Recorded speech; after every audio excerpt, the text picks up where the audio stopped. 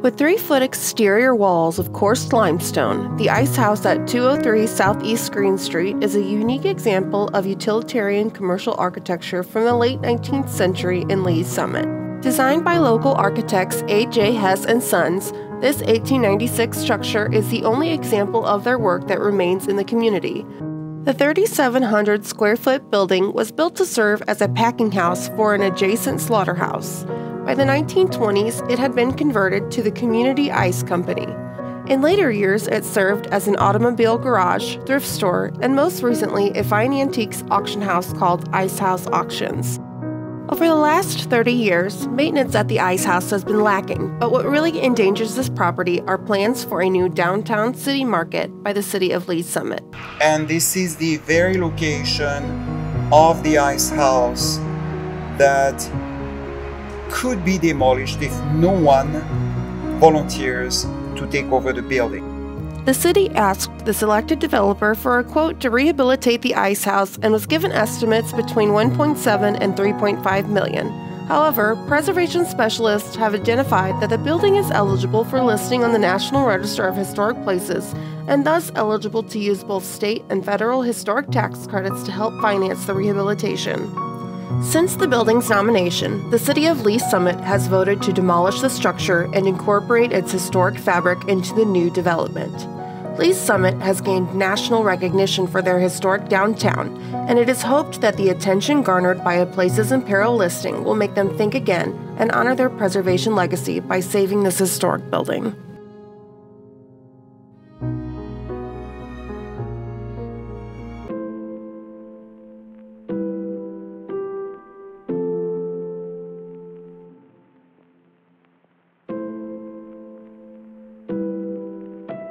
This house at 1003 Locust Street in Chillicothe, Missouri was built around 1891 by a Dr. W. W. Edgerton for his wife Elizabeth and daughter Ethel. Edgerton is locally significant to Livingston County and Chillicothe for his successful business endeavors and his contributions to our community as a mayor. The home stayed in the Edgerton Welsh family for the better part of a century, finally changing hands in 1963. The beautiful features of this home have always held our interest, but a lack of knowledge on repairs and restoration have forced previous owners and enthusiasts away, closing her doors to any family since 2013. The home has been vacant ever since. If you look beyond the board covering the front door and the vines encroaching the southern side, you'll discover cedar shaker on the dormers and many of the original Victorian details present both inside and out. The LCPS bought the property in August of 2021. Since that time, we've campaigned and raised capital for a new roof that was just installed. Our next goals are to repair the sagging west and south porches. The siding also needs to be removed and repaired, and then it's on to a beautiful new paint job on the exterior to highlight the intricate gingerbread trim. Our future projects include new plumbing, electrical, and HVAC. A new kitchen and several bathrooms will also be added, but most of the original floor plan will remain the same. The LCPS will offer workshops to help current homeowners take care of their properties. We want to be proactive in our community and keep other homes from falling into disrepair the way this one has. The LCPS plans to retain ownership of the home after restoration to rent it as a vacation property, but we will also give tours to schools and historical groups. This renovated home will offer the chance to share the local history of the families that lived here and the businesses they ran, as well as early Chillicothe history.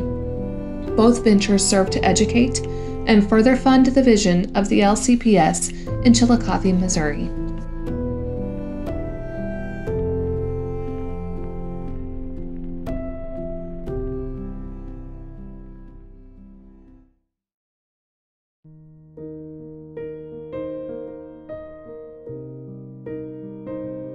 That remains of the original John Gue homestead at 115 Main Street is a small smokehouse.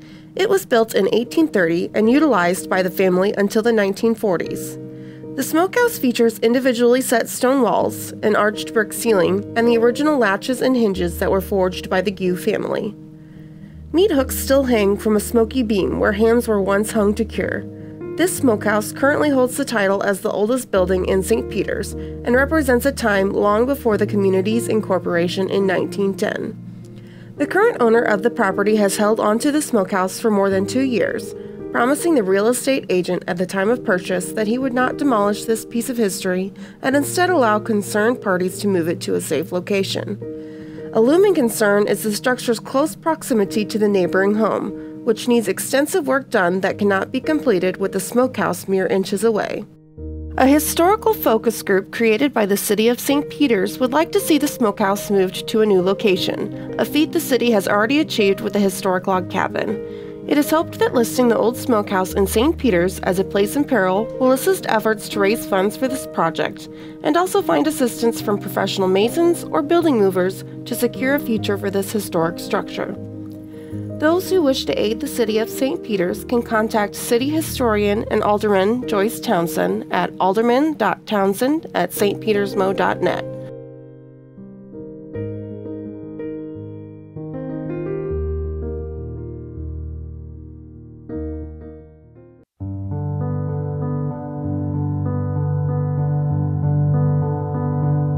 While the streetcar has done much for revitalization efforts along Main Street in Kansas City, the extension of the line beyond Union Station to 51st Street raises new concerns for historic structures along the line. Many of the commercial buildings along this stretch of Main Street date between 1880 and 1930, a period when Main Street was developing as the primary corridor between the downtown and residential neighborhoods to the south. The buildings are primarily between one and four stories tall, with flat or low pitched roofs representing a variety of styles from Romanesque Revival to Art Deco. Development of the second leg of the Kansas City streetcar has spurred a wave of speculative commercial real estate purchased along this stretch of Main Street. Many historic buildings have already been demolished, and many of those that remain are not listed in a National Register district and therefore lack the protection of Historic Preservation Review. Unlike the primarily successful redevelopment seen along the initial stretch of the streetcar, the buildings along this second leg are seen as less desirable as they lack density and height.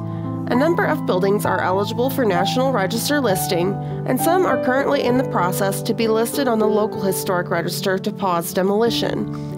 It is hoped that listing these low to mid rise commercial buildings along the new Kansas City streetcar as places in peril will bring widespread awareness to the ongoing threat of demolition and inappropriate redevelopment along this stretch of Main Street and encourage building owners to find ways to incorporate these important resources into their plans as they seek to redevelop Main Street in the coming months and years.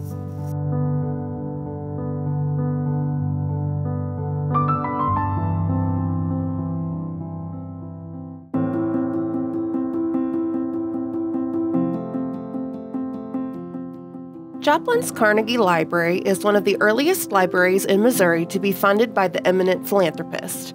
The library movement in Joplin began as early as the 1890s, but it wasn't until citizens voted in favor of public funding for a library in 1901 that Carnegie was contacted and $40,000 was secured for the building's construction.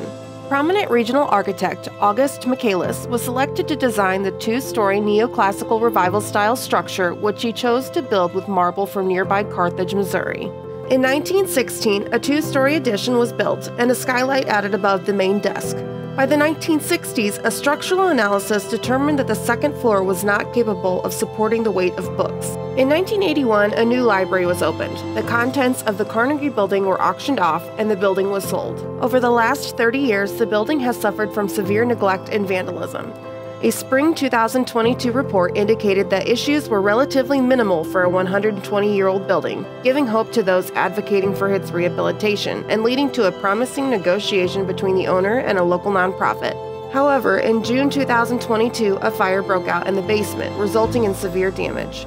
The Joplin Carnegie Library is now more endangered than ever, and it is hoped that listing the building as a place in peril will aid local efforts to find a viable solution to save this historic library.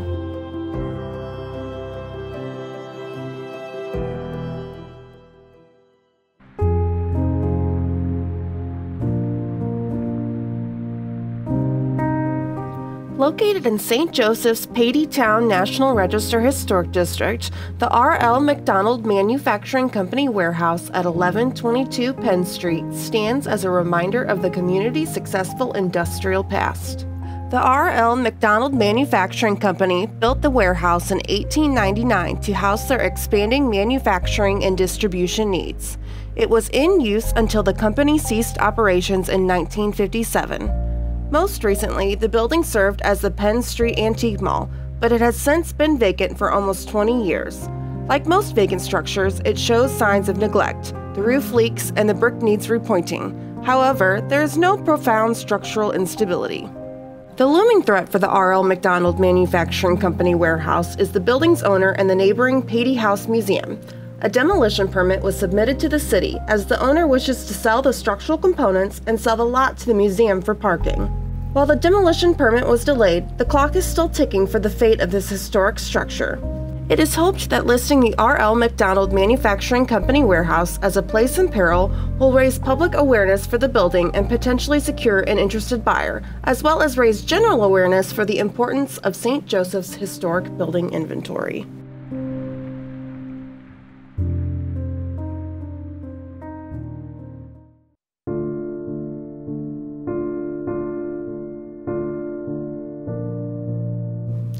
When southeast Missouri farmers began planting cotton in the 1920s, many African American families seeking jobs moved north. Those that settled in Sikeston were soon segregated into an area known as Sunset Addition. By 1941, the city realized Sunset Addition needed a larger school to meet the needs of a growing population. Architectural firm William B. Ittner Inc. of St. Louis was selected to design the new school.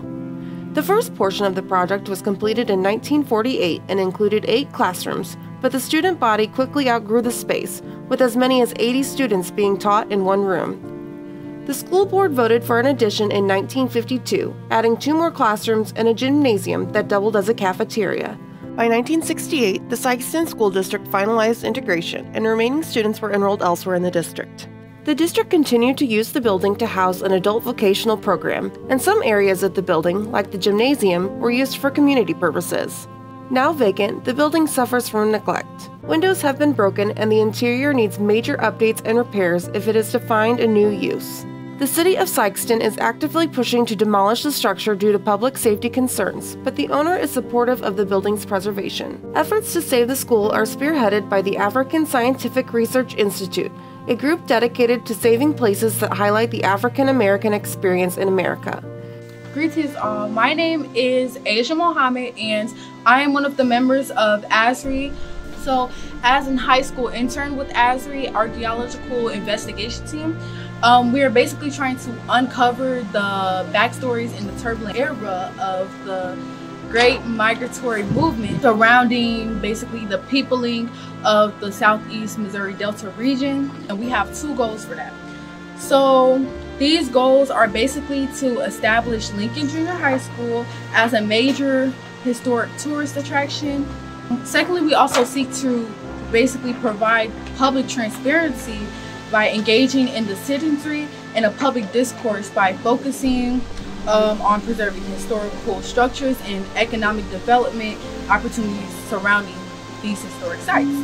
Basically, ASRI's intentions are to breathe life back into these rural areas by establishing like a unique critical historic tourist destination of Lincoln High School that will basically tell the untold stories of early black residents here and agriculturalists whose contributions were to help make the Midwest the bread maker of America.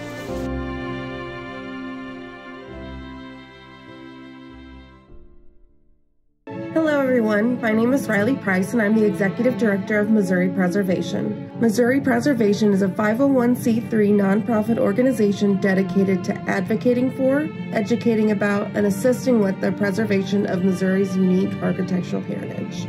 The Places in Peril program began in 2000 as Missouri's most endangered historic places. It has since blossomed into a much larger media campaign thanks to all of the wonderful ways we can now consume media, including this video. I'd like to thank all of the nominators, volunteers, and groups behind these Places in Peril who helped contribute to this announcement. I would also like to thank Missouri Preservation's corporate partners for making this program possible. Marvin, Mangrove, and Rosin Preservation. Last and certainly not least, I would like to thank all of our members of Missouri Preservation. We would not exist without our partners and members. Your support is what makes our programs and saving these endangered historic places possible. Visit our website, preservemo.org, to learn more about Places in Peril, including previous listings that still need your help. You can also find more information on other programs of Missouri Preservation, how to get involved, and how to become a member.